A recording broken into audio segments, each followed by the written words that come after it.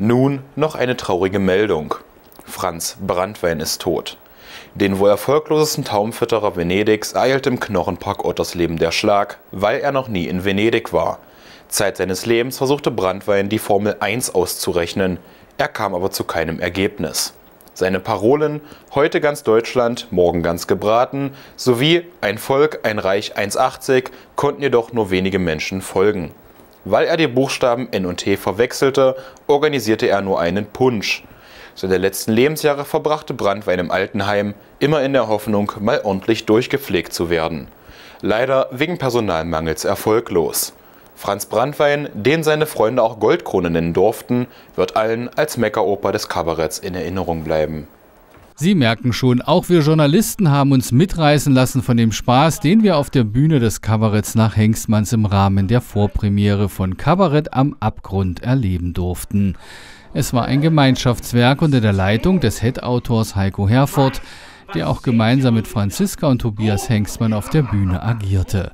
Herford verkörperte den Impresario eines kleinen Theaters, der eine große Revue plant, aber gleich zu Beginn des Stücks hagelt es Absagen von eingeladenen Stars, was die Premiere der Revue in Frage stellt. Und da kann es ganz schnell passieren, dass die Sekretärin des Theaters zum neuen Stern am Kulturhimmel gemacht werden soll. Sagen Sie mal, können Sie eigentlich singen?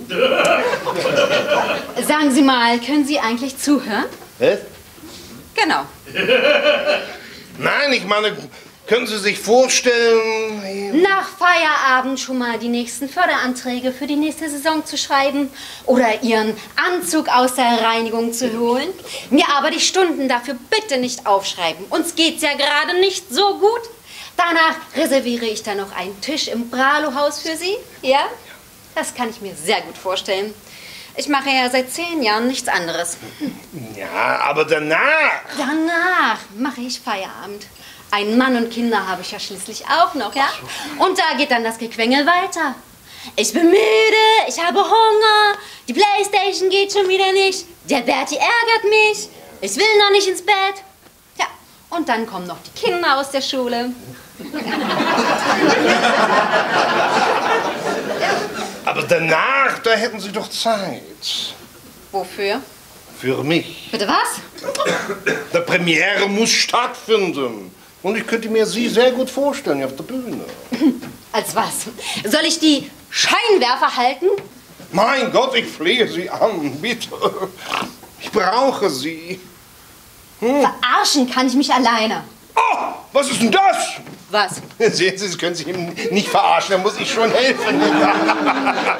Ja, und bei dieser Personalnot kann es dann auch vorkommen, dass dem Amazonenboten so ein Angebot gemacht wird oder dem Rentner Brandwein, was im Theaterstück Raum schafft für sehr schöne Dialoge, gern auch mit dem lieben Gott, der sich übrigens ein weiteres Mal als Frau entpuppt. Aber auch um aktuell politischen Themen einen Rahmen zu geben, wie der Pflegemisere oder der prekären Beschäftigung als Lohnsklave im Versandhaus. Ja, anders ist doch die Scheiße nicht mehr zu ertragen. Dann kündige doch. Kündigen. Ja, kündigen. Um mich dann von nächsten Idioten ausbeuten zu lassen oder was? Nee, pass Nicht aus, nicht aus, Nee, ausbeuten. ausbeuten.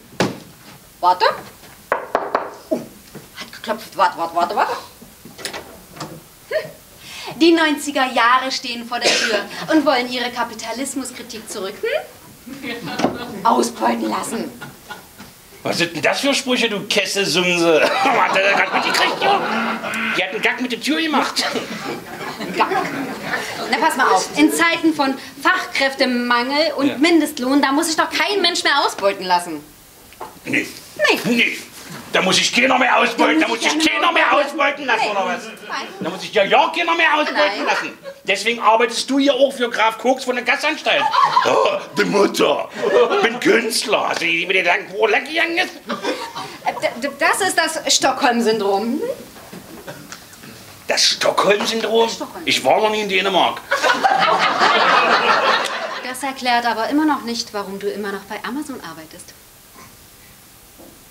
Na, weil, Na, weil, weil, weil du deinen Arsch nicht hochkriegst, um dir einen vernünftigen Job zu suchen. ja, ich sag mal besser als in eine hohle Hand geschissen. Oh. Sie waren schon?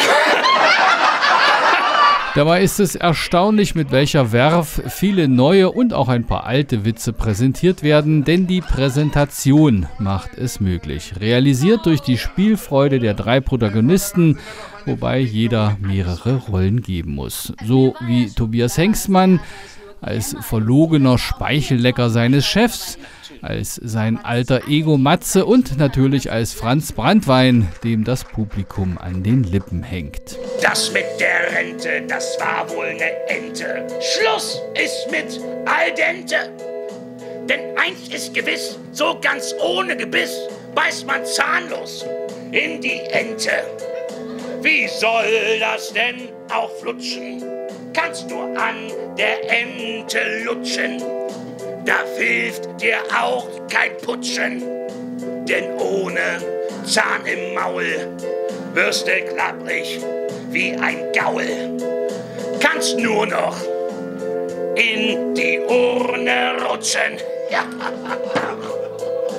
Es gibt da noch eine Variante, die bisher noch keiner kannte. Ja, was gäbe es noch zu sagen? Der Titel Kabarett am Abgrund führt bewusst in die Irre, denn dieses Stück verkörpert alles, was Kabarett ausmacht und vielleicht auch ein bisschen Kabarett. Was ursprünglich als Lückenfüller im Hengstmann-Spielplan gedacht war, könnte zu einem großen Erfolg werden, wenn Sie, liebe Zuschauer, sich eine Karte kaufen. Wenn man mit Kunst erfolgreich sein möchte, muss man sie kommerzialisieren. Wenn man Kunst aus Leidenschaft macht, dann viel Spaß in der Provinz. in der Comedy zum Beispiel werden Gags so lange auf, auf Massentauglichkeit geschliffen, dass letztendlich nichts mehr lustig ist. Ja, kennst du, kennst du, kennst du?